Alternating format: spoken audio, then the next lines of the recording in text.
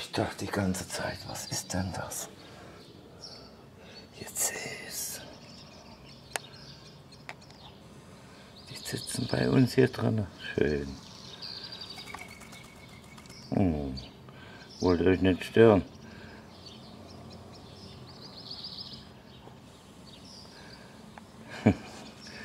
Hatten sich ja eingenistet.